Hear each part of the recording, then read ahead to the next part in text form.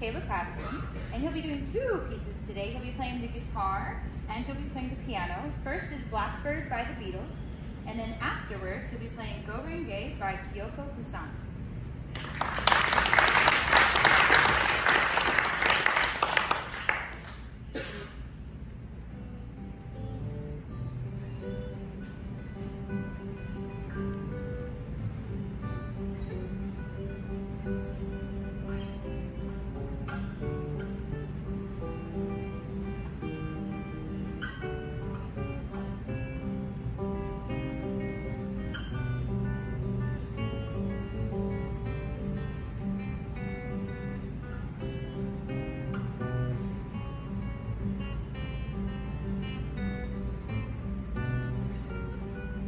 Thank you.